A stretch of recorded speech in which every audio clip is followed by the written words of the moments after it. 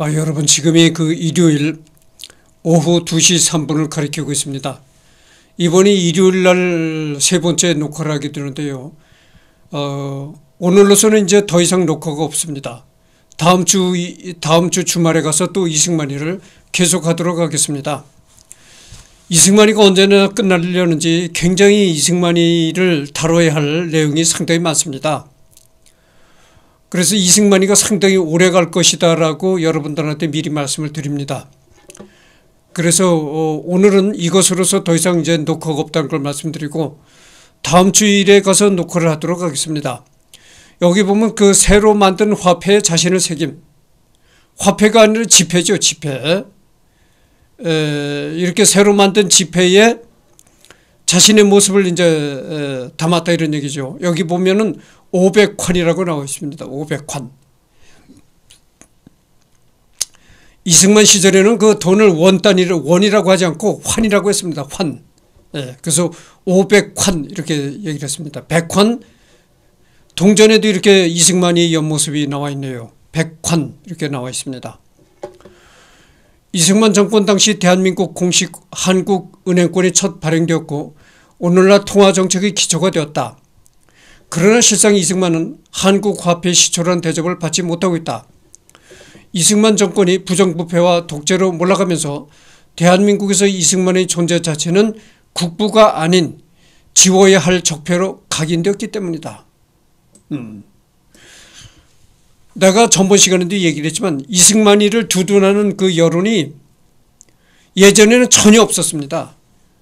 이승만, 이승만이가 뭐, 어? 건국 대통령이니 국분이 이런 거는 요즘에 그 우파들이 이렇게 이승만이를 지지하는 얘기를 했지 현재 뭐 이승만이 또 기념관까지 짓는다고 하잖아요. 근데 예전에는 이승만이를 두둔하는 여론이 전혀 없, 없었습니다. 이승만이는 빨리 지워야 하는 존재, 예. 잊어야 할 존재, 우리가 첫 단추를 잘못 끼운 존재 이렇게만 이제 된 것이죠. 그래서 여기 보면 지워야 할 적폐. 예, 우리가 이 기억 속에서 잊어버려야 할 존재가 바로 이승만이었다. 이런 얘기입니다. 우리 돈은 이승만 때 태어나서 박정희 때 변호한 돈이라는 말이 나온 것은 이런 연유에서다. 이승만 정권의 독재는 우리 화폐 고스란히 반영됐다. 이승만 초상은 1950년 첫 집회에 등장한 이후 1962년 정권이 붕괴되기까지 12년간 열종의 집회와 주화의 도안 임무를 독식했다. 그 기간 동안 초상의 의복은 두루마기에서 양복으로 바뀌고 인물은 더욱 세련되게 다듬어졌다. 1958년 50환권에 이순신이 잠시 나오기는 하지만 이는 이순신 장군 동상이어서 초상으로 보기 어렵다. 한국은행 관계자는 국왕이나 여왕이 있는 군주제 국가를 제외하고는 선진화된 민주국가에서 현역 대통령을 집회도안으로 쓰는 경우는 드물다면서 하물며 모든 집회도안이 오직 한 사람이었던 것을 보면 당시 사회적 분위기가 어떠했으라는 것을 짐작할 수 있다. 세계 모든 돈을 보더라도 그 돈에 음? 현직 대통령이나 현직 정치인이 돈에 나오는 경우는 없다는 겁니다. 예를 들어서 국왕, 영국과 같은 이 군주제 국가, 왕이 있는 그런 나라죠. 그런 나라는 이 국왕이나 이런 사람의 모습이 돈에 나올 수가 있다는 겁니다. 그렇지만 군주제 국가가 아닌 그냥 대통령제 국가에서 대통령의 모습을 돈에 집어넣는 국가는 전 세계적으로 없다는 겁니다. 그런데 그 유독 한국만은 어, 이승만 대통령의 모습을 돈에다 집어넣었다 이거죠. 그러니까 생각해 보라. 그때 다시 그때 당시 자유당 정 자유당 정권 시절에 이 대한민국 분위기가 어떠했는가를 짐작할 수 있다 거죠. 어. 그러니까 뭐 내가 전번 시간에도 얘기를 했잖아요. 북한에는 김일성이 신이 있고 어, 남한에는 이승만이 신이 있다. 이럴 정도였었죠. 아까도 이 전번 시간에도 내가 얘기를 했잖아요. 자유당 시절에는 이승만이가 등장하면 이승만이가 나타나면 만세 만세 이렇게 삼창을 울렸던 것이요. 만세 만세 만세 이렇게 그렇게 삼창을 부르짖었던 겁니다. 그러니까 어떻게 써요? 그러니까 그런 말이 나올 정도죠. 북에는 김일성이라는 신이 있고 어, 남한에는 이승만이라는 신이 있다 이럴 정도였었죠.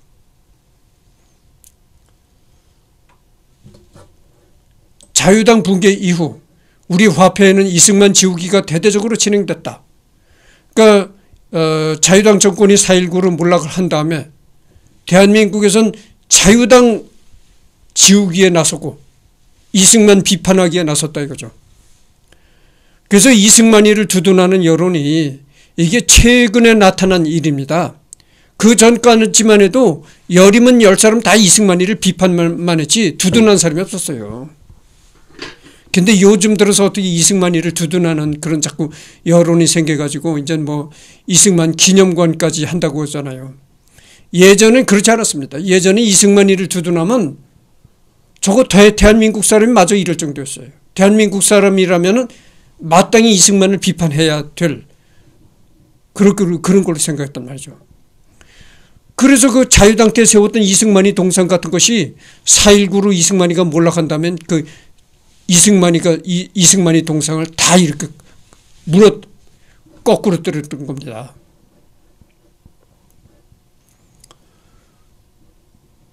자유당 붕괴 이후 우리 화폐는 이승만 지우기가 대대적으로 진행됐다. 장면 내각은 도안 인물을 세종대왕으로 바꿨고 박정희 정부는 파고다 공원, 남대문 해금강, 거북선, 거북선 등 무생물을 거쳐 이황, 이율곡, 이순신 등으로 인물 교체를 단행했다. 그래서 이제 이승만이 몰락한 다음에는 어, 화폐 이런 데서 에, 전혀 이제 그 어, 그래가지고 어, 뭐 현직 대통령은 절대 거기 화폐다 집어넣지 않고 세종대왕 그다음에 박정희 정부에 와서는 파고다 공원 어, 뭐 남대문 해금강 거북선 이런 저 사람 인물이 아닌 그런 거를 이제 집어넣었고 그 후에는 이제 박정희 그 어, 말년에 가서는 이황, 이율고 이런 학자 조선시대 정치인이 아닌 조선시대 학자 그 다음에 그 어, 조선을 지킨 이순신 장군 그런 거를 화폐에다 집어넣었다 이런 얘기입니다. 이제 와서 이승만이 직접 명령하여 자신의 초상을 화폐에 새기라고 했는지 아니면 한국은행의 과잉 충성이었는지를 따져봤자 그것이 중요한 게 아니다. 그럼 이때 왜 돈에 이승만이 초상이 이승만이 초상이 돈에 들어갔느냐? 이승만이가 내 모습을 직접 돈에 집어넣어라 이렇게 직접적인 명령을 내렸는지 아니면 그때 당시 한국은행이 이승만이가 뭐래지 않았는데도 정말 알아서 기었는지 요즘 말로 그러잖아요. 알아서 긴다고 하잖아요. 어. 명령을 내리기도 전에 알아서 충성의 길로 가는 거야.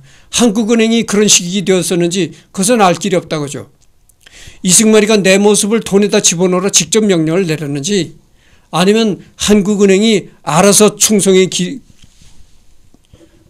이 발발 기었는지 그건 뭐, 어, 알 길이 없다고 죠 설령 화폐 도안을 기획할 때 이승만 본인의 개입이 없었다 하더라도 대통령의 승인이 없이는 화폐 최종본에 자신의 초상이 들어갈 리가 없기 때문이다. 자신이 집권 당시에 그것을 승인했다는 것만으로도 이승만 본인의 자만심이 얼마나 허황된 수준이었는지 짐작할 수 있다. 아무리 한국은행이 알아서 기더라도 어? 알아서 거기 이승만의 에, 모습을 돈에다 집어넣었다 하더라도 그거를 최종적으로 그 승낙하는 것은 대통령이라는 겁니다. 대통령의 권한이라는 거요. 근데 자신의 모습이 들어간 그 돈을 이승만 자신이 스스로 승인했기 때문에 들어간 거다 이거죠. 어.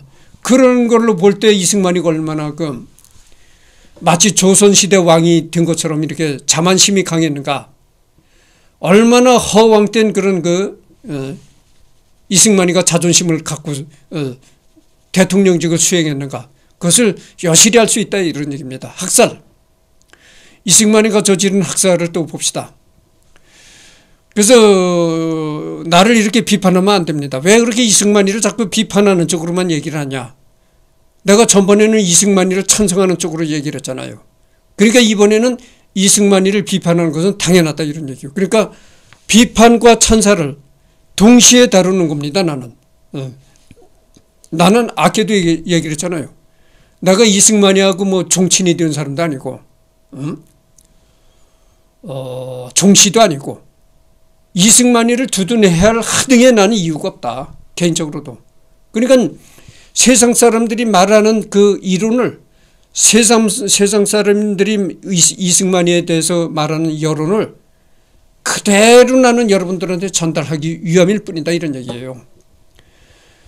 그래서 이승만이가 저지른 학살을 봅시다. 나는 공산주의자들을 다룰 수 있어. 빨갱이들은 총을 숨기고 군복을 불태울 수 있겠지만 우리는 찾아내는 방법을 알고 있어. 불도저로 커다란 구덩이와 참호를 파고 그 안에 공산주의자들을 채울 것이요. 그 다음에는 덮어버릴 거요. 그들은 정말로 땅속에 있게 될 거요. 이승만. 이거는 이제 이런 그 글 내용이 어디서 나오는 거냐면 브루스 커밍스라는 그런 그 학자가 있습니다. 미국에. 그 학자가 쓴 책이 이런 얘기가 나온다는 겁니다. 이 브루스 커밍스가 주장한 게 뭐 그 육이오가 미국이 그 유인한 전쟁이었다. 미국이 일으킨 전쟁이었다. 뭐 이런 식의 그 막말을 한 그 학자입니다. 이 브루, 그 브루스 커밍스라는 사람이 미국이 북한으로 하여금 육이오 전쟁을 일으키도록 유도했다. 뭐 이런 그 당치도 않은 논리를 주장했던 뭐 나름대로의 미국의 학자라고 하는데 이 브루크, 브루스 커밍스라는 사람이 또 한 가지 특이한 점은 이 사람의 아내가 바로 한국 사람입니다. 어. 한국 여자가 이 브루스 커밍스하고 결혼했어요. 그래서 지금 브루스 커밍스는 아마 나이가 많아서 아마 지금 지금쯤 아마 세상을 떠났을까 아마 내가 잘은 모르겠습니다만은 언젠가 이 브루스 커밍스에 관해서도 할 때가 있겠죠. 어. 뭐 내가 하는 게 내가 하는 게 인간 탐구잖아요. 어. 그렇습니다. 이승만 정권은 소위 한미 협정으로서 민족적 이익을 미국 정부에 매도하고 극소수의 도당들의 이익을 위하여 민생을 기아와 토탄에서 신음케 하고 나아가 무수한 애국자들을 투옥 학살하며 남조선 일대의 야만적인 공포 정치를 실시하였다. 그러니 이자는 국가와 민족의 원수로 규정되어야 할 것이다. 독립운동가 우사 김규식. 아, 김규식 이 양반이 말이죠. 이게 김규식 박사거든요. 이 사람도 미국 가서 공부해가지고 박사학위까지 받은 사람인데 상당히 나는 그 합리적이고 점잖은 사람이라고 생각했는데 상상외로 여기는 아주 어, 이승만에 대해서 정말 막말을 써 퍼붓는 겁니다. 이 김규식 박사가 이승만, 이승만에 대해서 아주 극단적인 말을 하는 거예요. 봅시다. 이승만 이자는 국가와 민족의 원수로 규정되어야 할 것이다. 어? 이렇게 아주 극단적인 말을 한 겁니다. 이 김, 김규식 박사가. 이승만의 학설은 역사적인 맥락이 있어 북한과 직간접적인 영향이 있으며 시발점이 된 경우도 많다.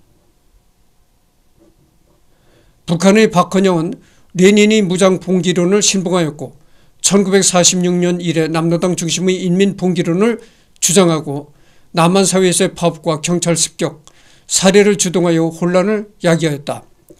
48년 2월 6일 박헌영이 인민위원회 복귀를 지령한 이후로 전쟁 이전부터 민간인 사이에 숨어 치고 빠지는 전략을 구사했다. 아, 1946년 말 발생한 폭동으로 400명의 경찰이 살해되기도 하였다. 이런 지령 자체는 한국 정부도 인지를 하고 있는 상황이었으며 후방봉기에 극도로 민감하게 대응하였다. 음. 이승만 정부가 이승만 정부가 후방 봉기 등의 강경 대응을 한 것은 명목상으로는 문제가 없으나 전투원과 비전투원의 비전투원과 비전투원의 구별, 이른바 비민분리 정책을이 제대로 되지 않았다는 것이다. 이승만 정부의 군경 당국은 게릴라 토벌 작전을 군사적 효율성만을 고려하여 비민을 분리시키지 않고 일체화시켜 작전 대상으로 삼는 이른바 민간인 희생화 전략을 채택하였다. 그래서 이승만 정부는 그 무슨 토벌 작전을 쓸 때도 민, 민간인과 비민간인을 구별하지 않고 어, 일단 작전이 시작했다면 민간이나 민간인 뭐 어, 민간인 아닌 이거를 구별하지 않는 무차별 어, 진압하는 그런 어, 정책을 취했다는 것입니다. 그래서 4.3 사건 이런 게 그 논란이 되고 있는 게 그렇잖아요. 무차별적으로 이 진압한 바람에 거기에서 파생된 여러 가지 그, 음, 그, 참, 아무 죄 없는 민간인들이 많이 죽었다. 이래가지고 좌파들이 그 점을 자꾸 꼬집고 있잖아요. 민간인 대량 학살이 발생하는 배경이 되었다. 더불어 이승만 본인이 강경 발언을 쏟아내고 이를 조정하려고 들지 않았으며 이는 보도연맹 학살 사건으로 이해될 수 있다. 보도연맹. 내가 언젠가도 이 보도연맹에 관해서 얘기를 한 적이 있습니다. 여기서 보도연맹에 관해서 또 자세히 얘기를 하면은 또 이, 이 뭐 이승만이 굉장히 한없이 길어지게 될 겁니다. 그래서 여러분들 보도연맹에 관해서 깊이 들어가지 않겠습니다. 하여튼 보도연맹을 학살했는데 어, 나는 그렇다고 봐요. 봐요. 그때 당시 이승만 정부의 그 중요한 사람이 누구였냐면 내가 김창룡이 얘기를 자주 하는데 김창룡이가 이제 방첩대 뭐 특무대 대장 으로서 했단 말이죠. 근데 그 이승만이는 김창룡이 말을 말이라면 100% 신임했습니다. 어. 그래서 이 아까도 내가 전번 시간에도 얘기했지만 이승만이는 어, 군 출신이 아니고 순수한 민간인 출신 대통령이거든요. 그래서 그래서 민, 순수한 민간 출신 대통령이기 때문에 6.25 전쟁도 이렇게 겪는 걸 보면은 전투라든가 이런 건 전적으로 군에한테 일임을 했습니다. 육군 참모 총장이나 이런 사람들한테 전적으로 일임을 하고 자기는 그 어, 유엔이라든가 외국 군대를 끌어들이고 이런 데만 이제 열중했단 말이죠. 그래서 이 보도연맹을 학살하는 사건도 이 김청룡, 김창룡이가 이승만한테 건의했을 것으로 봅니다. 이 보도연맹을 대통령님, 이 보도연맹을 6.25 전쟁이 생기기 전에 보도연맹이 이제 조직됐는데 보도연맹을 완전히 깡그리 없애야 될 것 같습니다. 음, 이렇게 아마 김창룡이가 이승만한테 건의를 했을 것이라고 봅니다. 그래서 이승만이가 거기에 이제 yes 이렇게 나왔을 것이라고 봅니다. 하여튼 이 김창룡이라는 사람은 공산주의라면 아주 그냥 치를 떠는 그런 사람이었어요. 그 김창룡이가 북한에 있을 때 북한에서 살다가 이렇게 탈북 이제 남한으로 넘어온 사람이거든. 근데 그 북한 김일성 정 공산주의당한테 여러 번 죽을 뻔했습니다. 그러다가 탈출해서 이제 넘어온 거거든. 그래가지고 이 공산당 때려잡는데 앞장섰던 거예요. 이 김창룡이가. 이 김창룡이가 이 공산당이라면 아주 이, 이, 이를 갈았던 사람이에요. 그래서 이승만한테 신임을 받았던 겁니다. 그래가지고, 어? 김창룡이 말이라면 이승만이가 다 예스를 했던 것이죠. 그래서 이 보도연맹 학살 사건도 김창룡이가 틀림없이 이 이승만한테 건의를 했을 것이라고 봅니다. 이 보도, 보도연맹 조직을 다 없애버려야 된다. 이렇게 이제 하니까 이승만이가 yes 이렇게 나왔을 것이라고 봅니다. 북한이 의외로 큰 책임을 지는 다른 부분은 전쟁 도중의 민간인 오인 학살이 있다. 북한군은 피난민으로 위장하여 전쟁을 수행하였다. 천안 전투에서는 피난민 속에 다수의 게릴라고, 게릴라고 어, 포함되어 미군이 설치한 지뢰를 제거하였고 대전 전투에서는 피난민 속에 정보 수집을 위한 정찰부대가 잠입하였다. 북한군의 9월 공세 당시 2천명 규모의 북한군 제2사단 병력이 피난민으로 위장하여 행진하였다. 1950년 7월 서부전선에서는 북한군이 농부나 피난민으로 위장하여 침투했다. 그래서 여러분 것들 그 6.25 전쟁이 일어날 때만 해도 한국 사람들이 여자는 그 한복, 하얀 저고리에다가 하얀 치마, 남자는 하얀 적삼에다가 하얀 그 핫바지 한복을 입었단 말이죠. 그래서 우리나라는 그 백의 민족이다 이렇게 말들 했었죠. 하얀 옷, 하얀 옷을 즐겨 입었던 민족이다 뭐 이런 얘기했었잖아요. 6.25 때도 그랬어요. 6.25 때도 그래서 어, 이렇게 하얀 한복들을 입고 전부 이 피난을 갔던 것입니다. 그 피난하는 행렬에다가 미군기가 떠가지고 폭격을 내려댄 거예요. 그래가지고 미국을 비난하는 사람들이 뭐라고 했는 줄 아십니까? 아니 도대체 피난을 가는 한국민들한테 이 공중에서 폭격을 한다는 게 말이나 되느냐? 어? 이래가지고 미국을 비난하는 사람들이 있었거든요. 근데 그게 뭐냐면은 여기 나오잖아요. 북한군이 농부나 피난민으로 위장해서 피난민들하고 같이 섞여서 내려, 내려온다 이거예요. 어? 그렇잖아요. 그러니까 그런 정보를 미리 미군이 알고 이 피난민 속에 이 빨갱이들이 이 위장에서 숨어 있다는 것을 알고 피난민 행렬에다가 이 폭격을 가한 겁니다. 그러니까 어떻게 해요? 피난민과 빨갱이들이 섞여 있으니 거기서 어떻게 옥석을 가린다는 얘기입니까? 되지도 않는 얘기지. 그러니까 이승만이가 무조건 이렇게 학살을 했다. 무조건 비난을 할 것만 아니고 이 전쟁이라는 그런 좀 극한 상황을 이라는 거를 우리가 그 10분 이해를 해야 되는 겁니다. 그리고 그렇게 급한 급박한 상황 속에서 한 사람 한 사람 어떻게 옥석을 가리고 죽일 수가 있나요? 그렇잖아요. 그러니까 이거는 이승만이 학살을 했다고 해가지고 무조건 이승만이를 그 비난할 그런 것은 못 된다 이런 얘기입니다. 음, 그렇잖아요. 어? 이승만이는 내가 그래서 아끼도 얘기지만 이승만이는 순수 민간인 출신이 대통령이 됐다고. 그러니까 6.25 때도 이 전투라든가 이, 이 그런 거는 군인 이 군인들한테 다 일임한 겁니다. 참모총장 이런 데 다 맡기고 자기는 외교적이면 어, 외국에서 유엔 회의를 개최해 가지고 외국 군대를 끌어오고 이런 데만 했던 거예요. 그러니까 이 군사적인 문제는 다 일임을 했는데 김창룡이가 와가지고서는 이, 이 대통령한테 그 말이야 어? 보도연맹 어.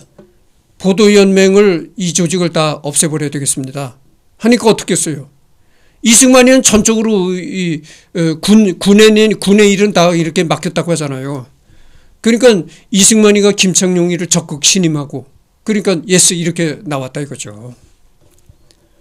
어? 그러니까 이거는 어 이거는 그 학살을 했다가 해가지고 무조건 그 이승만을 비판할 수는 없다 이런 얘기죠. 이 보세요. 북한군이 농부나 피난민으로 위장해서 침투했다는 건데 북한군이 피난민과 이 시골의 농부와 이렇게 섞여서 피난을 했다 이런 얘기예요. 근데 거기서 옥석을 가리고 어떻게 이렇게 사람 하나하나 심사를 해서 가립니까? 말도 안 되는 얘기죠. 이는 국군뿐만 아니라 당시 유엔군에게도 치명적인 문제였으며 이런 상황에 질려버린 미 8군 사령관 워커는 한국 정부에게 피난민 통제를 요청했으며 피난민 관리법이 지정되었다. 이로 인해 피난민들에게 강압적이고 폭력적인 검속이 실시되었다. 이런 상황이 전쟁 도중에 지속되었으며 피난민과 민, 민간인을 위장 침투한 북한군으로 오인 학살한 사례가 수없이 발생했다. 심지어 이걸 핑계로 삼아 학살한 사례도 있었다. 이런 사태는 북한도 상당한 책임 소재가 있다. 그렇게 이 민간인을 민간인 속에 숨어 있고 피난민 속에 숨어서 남아는 그런 공산군을 어떻게 한단 말입니까?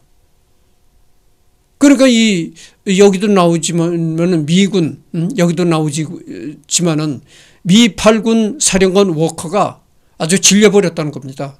한국전에 뭐냐면은 그렇게 피난민을 위장한 대열에 빨갱이들이 숨어서 내려온다는 거예요.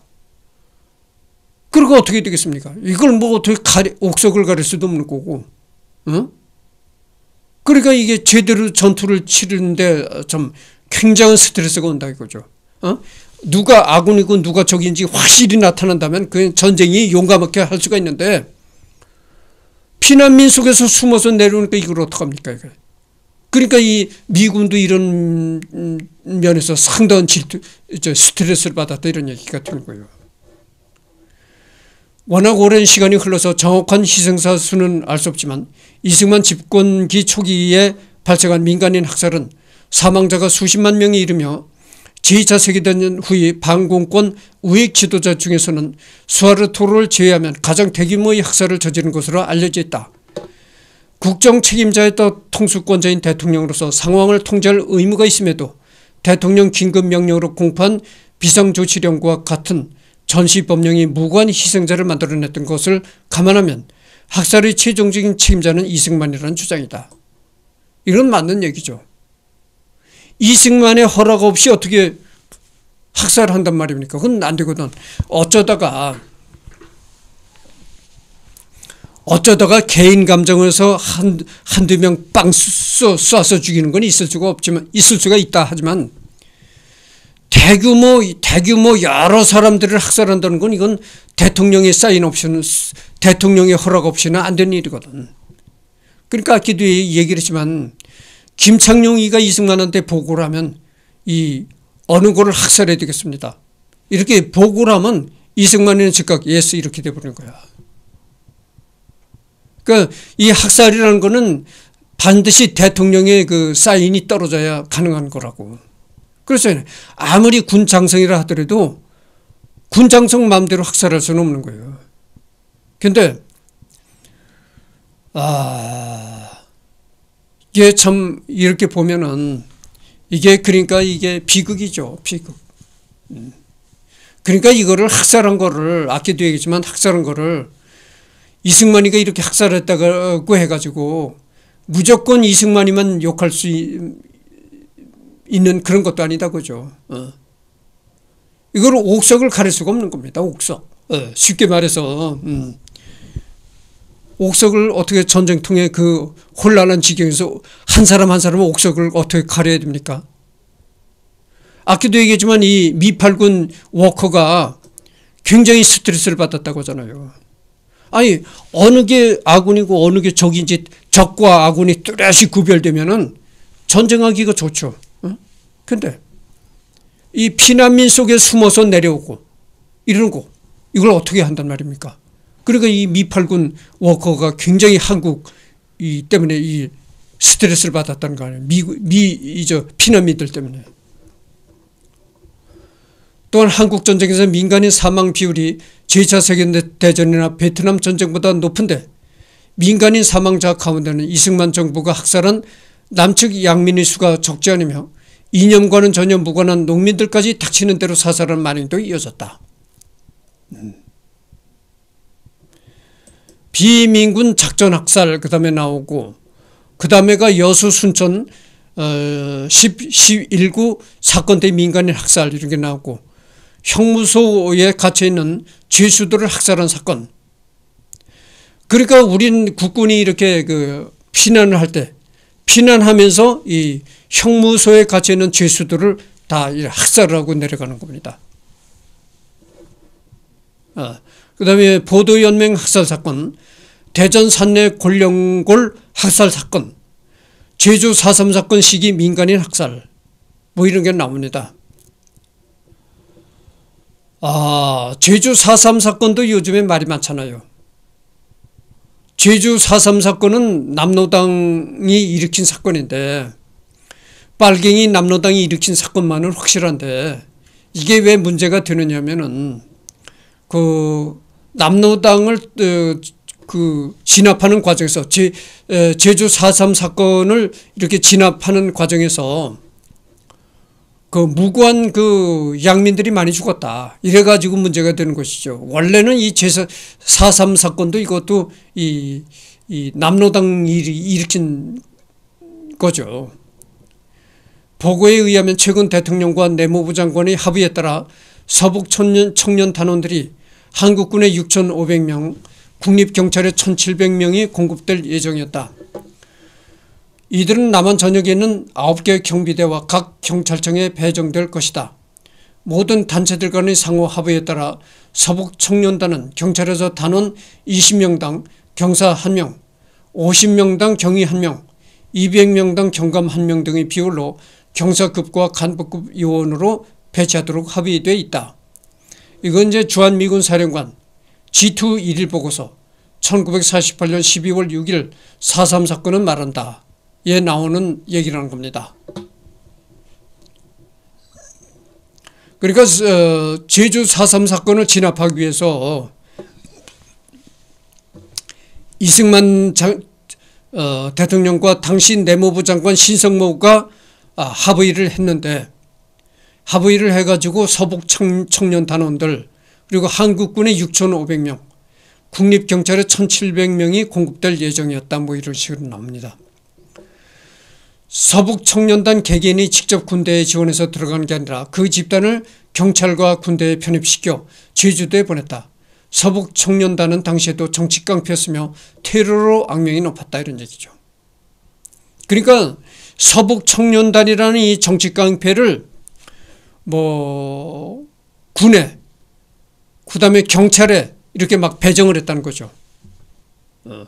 그러니까 이거는 뭐 어, 정식 경찰도 아니고 정식 군인도 아닌데 일종의 그냥 깡패였었는데 이 깡패 집단을 정식 군에 경찰에 이렇게 막 배정, 예, 강제로 배정을 했다는 겁니다.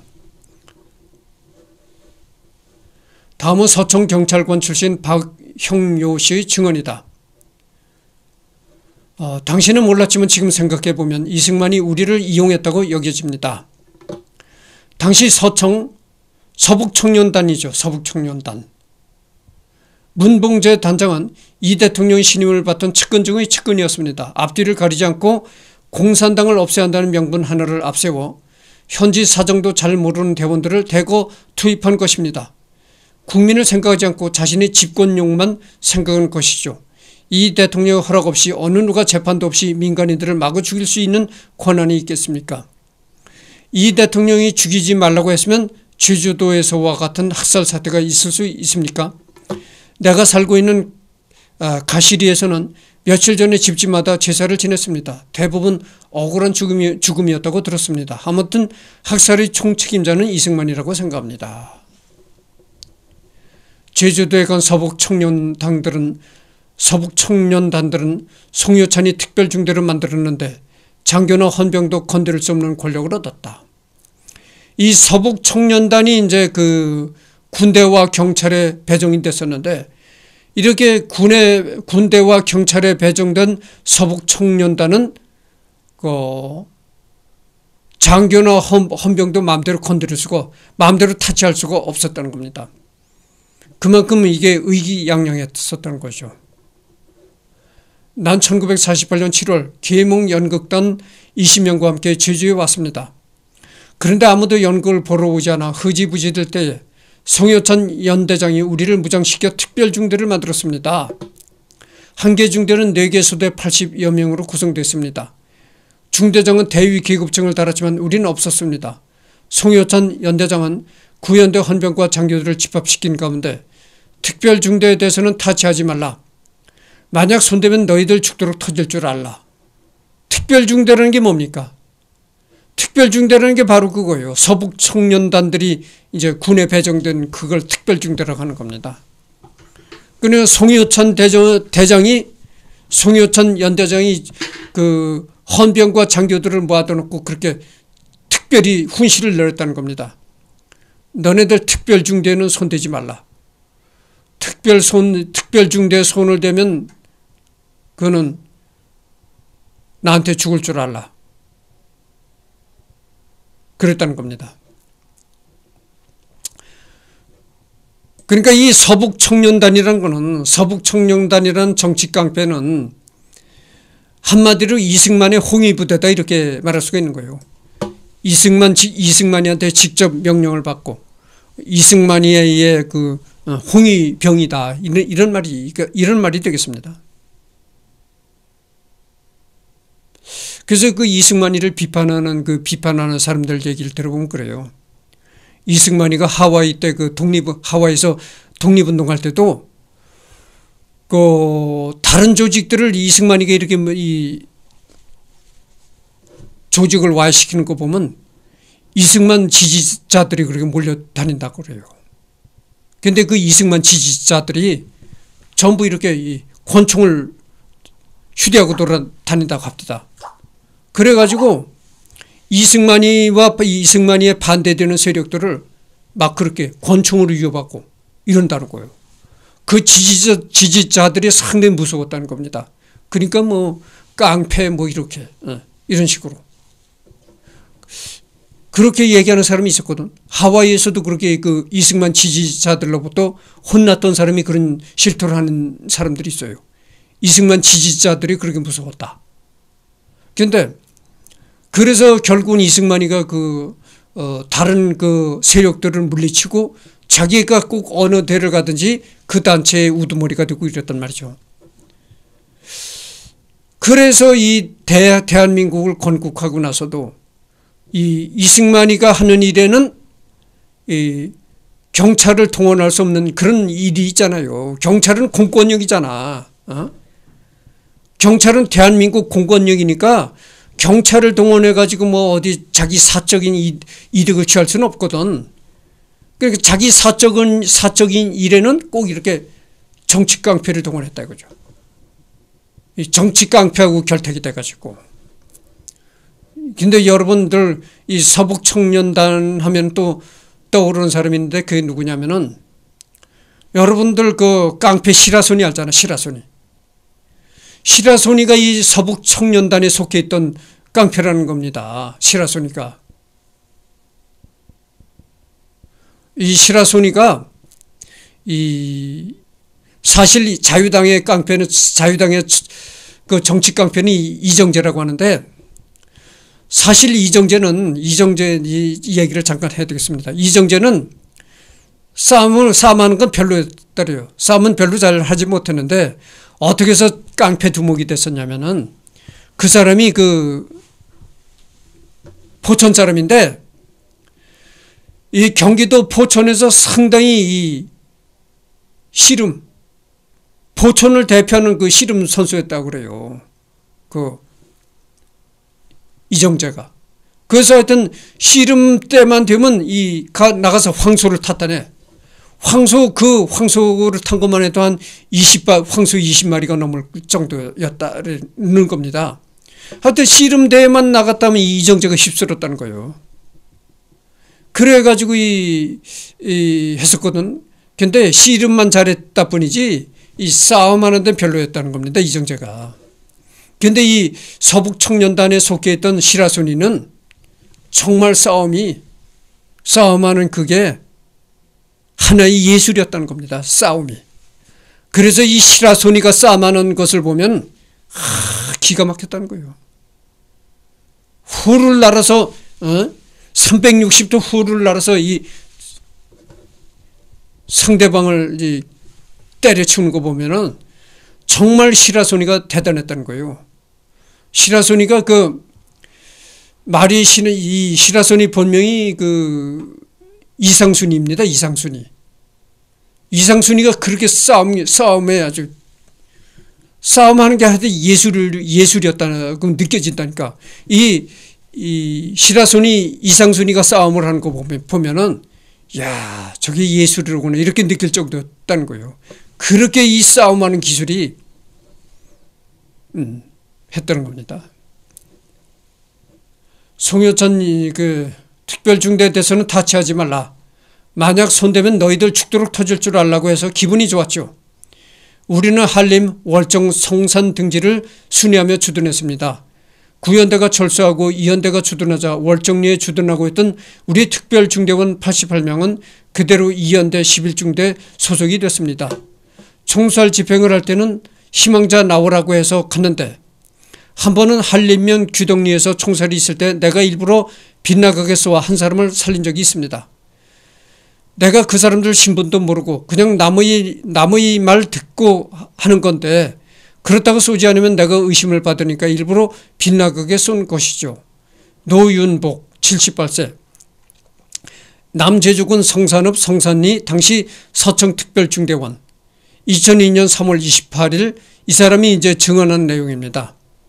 제주 4.3 사건 진상보고서 음. 거기다 이렇게 서북 청년단을 보내면서도 월급이나 보급 체계를 제대로 갖춰주지 않았다. 어. 이승만 정부에서 서청대원들은 대거 경찰이나 군인으로 내려보내면서 월급이나 보급 체계를 제대로 갖추지 않은 채 현지 조달하는 식으로 내몬 것도 문제였다. 그러니까 뭐 이승만 정부 때이 이 서북 청년단 단원들을 제대로 대우를 해주고 봉급을 주려니 뭐 국고가 텅텅, 텅텅 비었는데 뭐 그럴 수가 있습니까? 그러니까 너, 너네들이 현지에 가서 조달해라. 제주도 현지에 가서 거기서 먹을 것도 구하고 남의 집 약탈을 해서 식량 문제도 해결해라. 전부 이런 식으로 됐던 거예요. 역시 서청 출신 경찰관으로 200명 부대에 이어 제주에 왔던 박형요는 일선 지서로 배치될 때 홍순봉 경찰국장이 연설하기를 현재 상황이 여의치 않으니 식량이나 월급을 보낼 수 없다. 가서 마을에서 얻어먹으며 진압하라고 말했다고 증언했다. 물론 일선 지서마다 경찰 후원회가 조직돼 이들을 뒷바라지했으나 그것은 처음부터 한계를 드러낼 수밖에 없었다. 자연히 민폐가 생길 수밖에 없는 구조였다. 이게 제주 4.3 사건 진상 보고서에 나옵니다. 어, 그래서 지금 녹화한 지가 41분을 경과했습니다. 이 상황에서 서북 청년단은 제주, 제주도 총무국장조차 때려 죽였으나 어떤 처벌도 받지 않았다. 이 서북 청년단이라는 정치 깡패가 제주도의 총무국장, 제주도 총무국장이라고 하면 지방 그 공무원으로서 상당히 고위직, 고위직이거든. 이렇게 지방의 고위 공무원조차 고, 지방의 고위 공무원을 때려 죽였는데도 아무런 처벌도, 처벌도 받지 않았다는 겁니다. 어, 이승, 이승만의 홍위병인데, 홍위, 저, 직접 이승만의 홍위병인데 처벌을 받겠어요.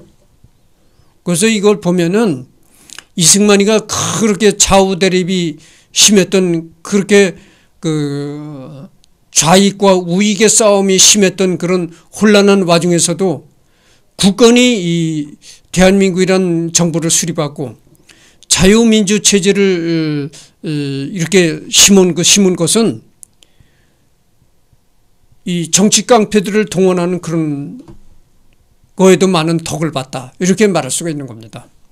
그래서 이승만은 그 이렇게 정치 깡패들을 이용 이용을 많이 했다 이런 얘기입니다.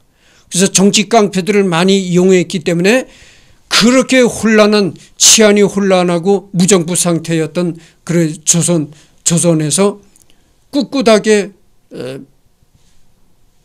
이 땅에 이 자유민주 깃발을 꽂을 수가 있었던 겁니다.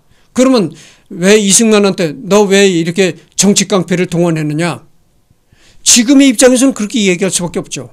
지금의 입장에서는 너 왜 정치 깡패를 그렇게 동원하고 몰고 다녔냐 이렇게 얘기할 수 있겠지만 그때 입장에서 보자 이거요. 그때 이렇게 무정부 상태, 예? 조선이 이 무정, 무정부 상태 그렇게 예? 혼란한 시기에 예? 주먹 쓴 놈이 왕초고 이렇게 혼란한 혼란했던 시기에 정치 깡패를 동원하지 않았으면 과연 이승만이가 제대로 된 대한민국 정부를 수립했겠는가. 음. 그러니까 이게 한말로 얘기를, 한마디로 얘기를 하면 이런 얘기입니다. 무지, 여기는 이승만을 비판한 얘기, 그러니까 이승만을 비판한 얘기로서 이제 정치 깡패 얘기도 나오긴 했지만 내가 이걸 이렇게 읽어볼 때 정치 깡패라는 것도 필요 악이었다. 아, 악이지만 어쩔 수 없는 필요 악이었다. 이런 얘기를 할 수밖에 없는 겁니다. 그래서 이때 당시에 그 혼란했던 조선기의 상황을 이렇게 보면은 필요악일 수밖에 없다. 무조건 이걸 가지고 이승만이를 비판할 수밖에 수는 없다. 이런 얘기를 지금 하고 싶은 얘기 하고 싶은 겁니다. 음. 그래서 지금 뭐 44분 경과했거든요. 그래서 이 뭐 정치 깡패를 동원하고 이런 걸 가지고 무조건 비난할 수는 없는 겁니다. 그때 당시 이렇게 굉장히 정치 카페를 이승만이가 이렇게 동원할 수밖에 없는 게 현실이었다. 음, 이런 말씀을 드리면서 이번 주에는 더 이상 녹화가 없습니다. 그래서 다음 주에 가서 녹화를 하도록 하겠습니다.